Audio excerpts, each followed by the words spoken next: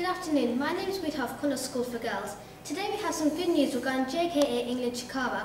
JKA is a karate teaching organisation or club. Children from many countries all around the world have joined JKA in order to learn karate. When there's a competition, karate students compete against each other to see who will come first place overall. In grading events, students challenge themselves against time, strength and knowledge to attempt to move up a belt.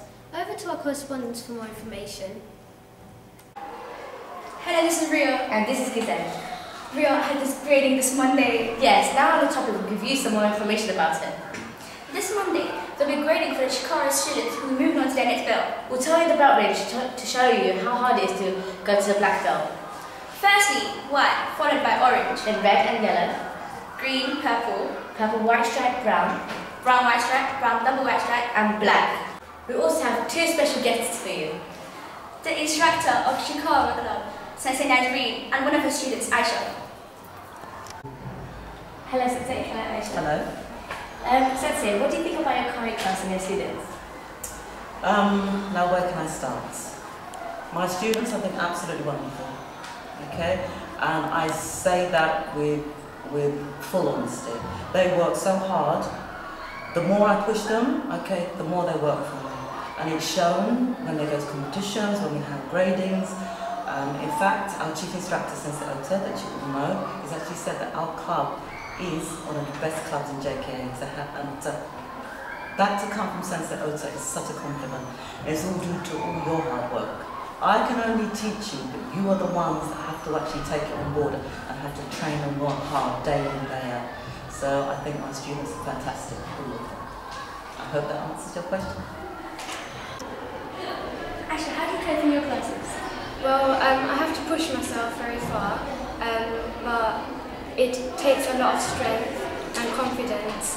But I think if you have the mentality to say that you can do it yourself, then you can do anything. Sensei, there's grading coming up, coming up this Monday. How do you think your students will do in the grading? Um, I think they will be nervous, like in all gradings. It's, it's very nerve-wracking. Um, but I will never put a student in for a grading if I don't think they're up to it. And I have every confidence that the students will pass like they have before. Actually, what inspired you most to do karate? Well, I wanted to get fit and I wanted to learn a sense of self-discipline. And karate is always associated with self-discipline, so I thought karate would be the best thing to do. Sensei, are you nervous that the chief instructor, Sensei Ota, will be coming on Monday carrying the grading your students? Oh yes, I'm always nervous at grading. I always want my students to do well and I actually get very nervous for my students. I'd rather be up there grading myself than watching my students grade because I know how hard it is and how much effort they have to put into it. And when you're actually up there in front of the panel, in front of Sensei Ota, the chief instructor, okay, I, I'm shaking so I know my students are nervous as well. So.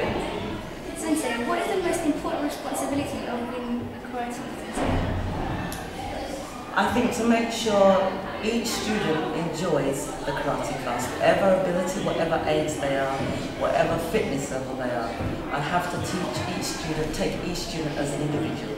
In that way then they can always bring something out of the karate class and hopefully they enjoy every class.